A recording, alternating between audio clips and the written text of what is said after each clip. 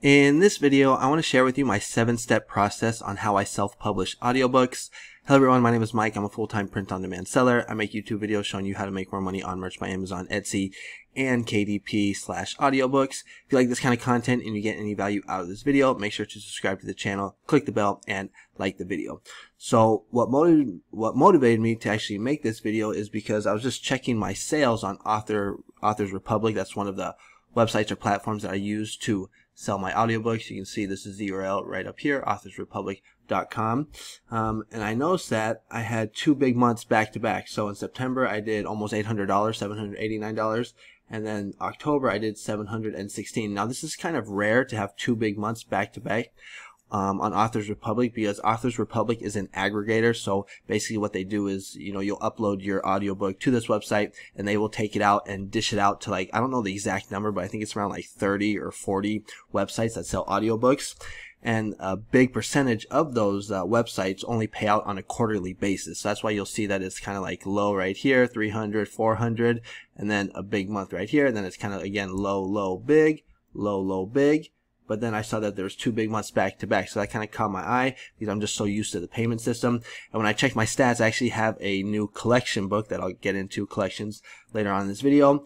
But I have a new collection book that is kind of going viral or just getting more traction. It got like, it made me like $300 just alone that one book.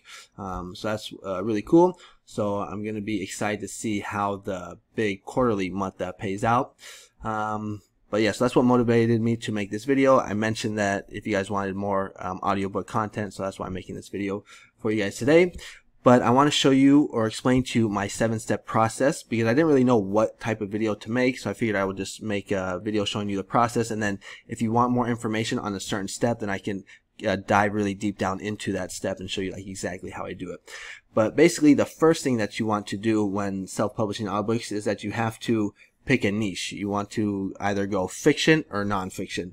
Now, me personally, um, you know, I started off doing both, but now I only do fiction, and that doesn't mean that you only have to do fiction. But the reason I only do fiction is because I actually got my KDP account terminated because I was self-publishing nonfiction, and what someone did is they actually um, uh, knocked off someone else's book and wrote basically the same book gave it to me. I published it. Amazon saw that and I got uh, my account terminated for that. So I just don't really trust authors anymore to do um, nonfiction books for me. Now that's not to say that's going to happen to you. That was just my experience, but it's just a lot harder for someone to, um, you know, give you copyrighted content if it's uh, fiction because if it's fiction they have to come up with a story you know they have to use their own creativity so it's just it's not impossible but it's just a lot harder so that's why i just kind of stay away from nonfiction i just focus on uh, fiction basically. And the niches that I'm in for fiction is uh, romance, right? and then also um, short, uh, scary stories. Now I've done way more money with romance. There's just tons of people that just are avid readers and they love reading or listening to these romance stories. All right. Um, now the horror stories do sell well as well, but I've just had better success with the fiction ones. Um, the only downside to um, you know audiobooks, especially compared to um, you know uh, self or um, uploading or designing T-shirts, is that you know there's a lot more of a cost with audiobooks. You have to because everything's outsourced. You have to pay the um, you have to pay the writer. You have to get it edited. I'm gonna get into all these, but there's just more an expense. With T-shirts, you know, all I have to do is just pay ten dollars to Photoshop, or you know, uh, forty dollars for a year with Creative Fabrica. I get access to all of these designs, so it's just a lot cheaper print on demand or merch by Amazon. But the most amount of money I've ever made online is with ebooks uh, um, and audiobooks. There was a time where I was making a thousand dollars a day just on uh, ebooks. All right. Um, but that was back when it was a little more of the wild, wild west. Uh, but let's go and get into this first step. So the first step is you got to pick a niche. So you either want to pick fiction or nonfiction. Me personally, I do fiction, and I'm doing, um, you know, like I said, horror and romance. Right now, once you have your niche that you want to, uh, um, you know, uh, self-publish to, you're going to have to get the book written. And so where I like to get my book written is on Upwork. So you've probably heard of Upwork before. And what you want to do is you just want to go to post a job and you're just going to basically ask or you're going to uh, create a job posting that you're looking for a freelance writer to write you a book on whatever type of topic basically. Again, if you want more information on my exact process on how I do this, just comment below. This video is more just about like the seven steps. I can get into more to each uh, uh, step specifically. If you want, just let me know in the comments. Um, now me personally, the way I do it is I do 10,000 word short stories and I pay a hundred dollars for those short stories. The way that it works is that you pay by the word. It's not by the amount of pages or anything like that. It's about how many words. And the majority of um, freelancers, not all, but the majority, usually will charge you, um, you know, uh, a hundred dollars for ten thousand words, basically. Um, some charge a little more, but the cheapest you'll get is probably around, you know, hundred dollars, and that's fine.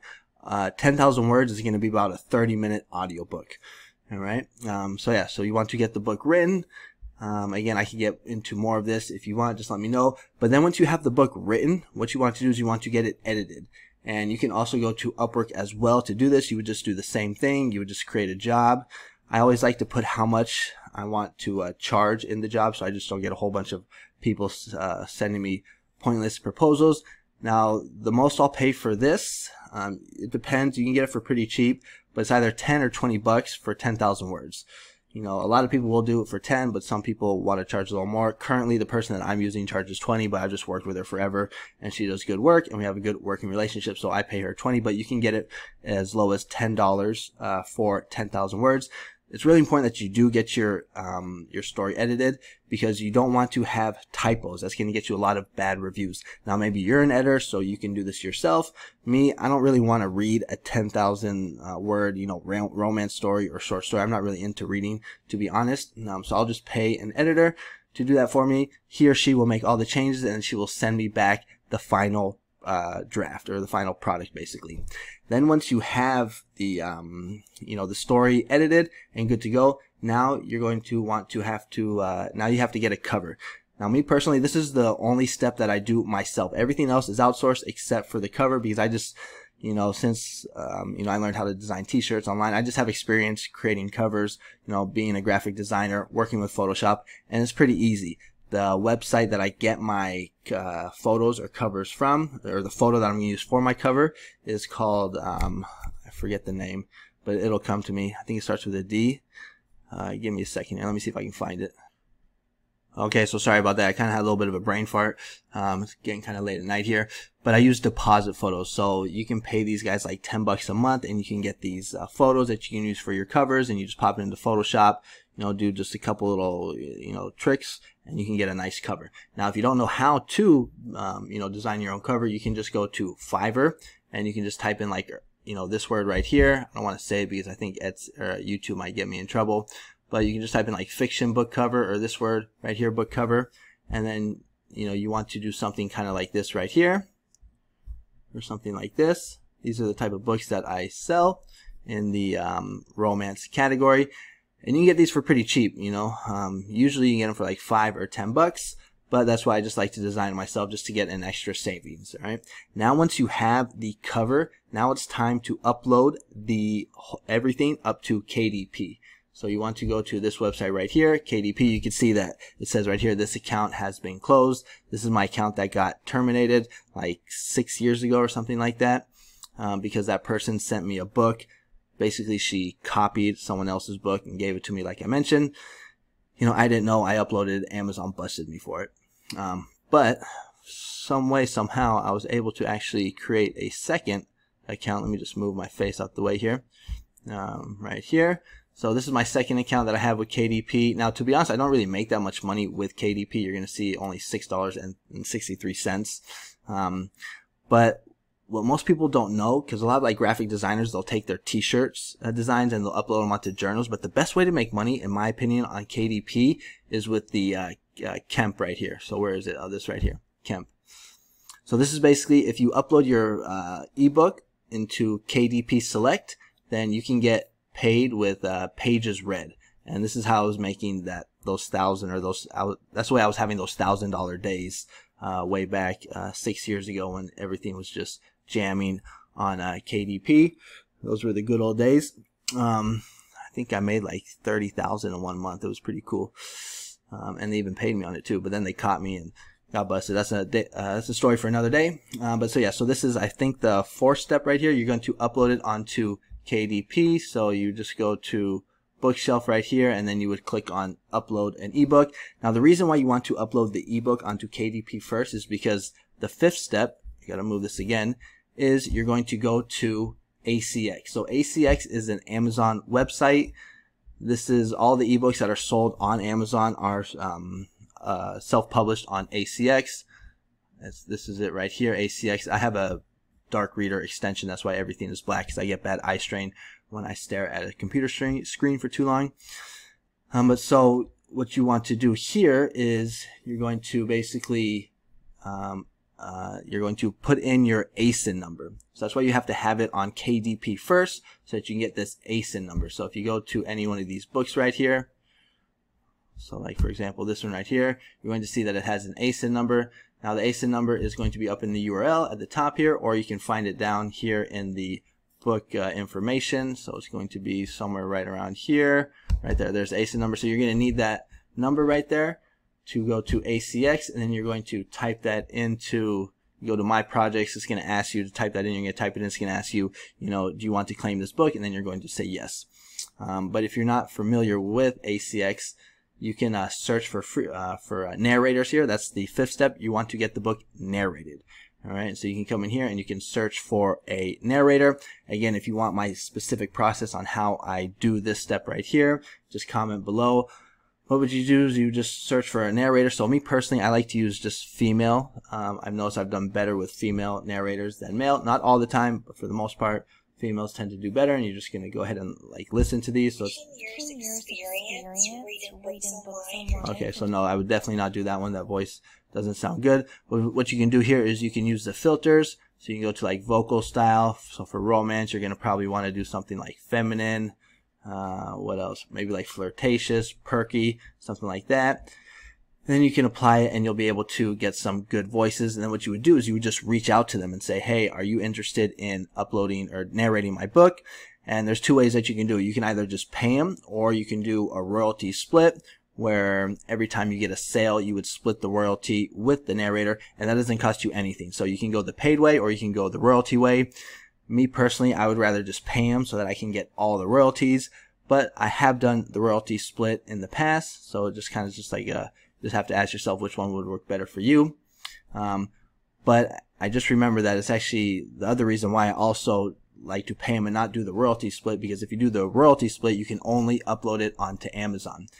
And the final step is Authors Republic. And that's why I like to just pay them because then I can take the book and I can upload it onto any website that I want.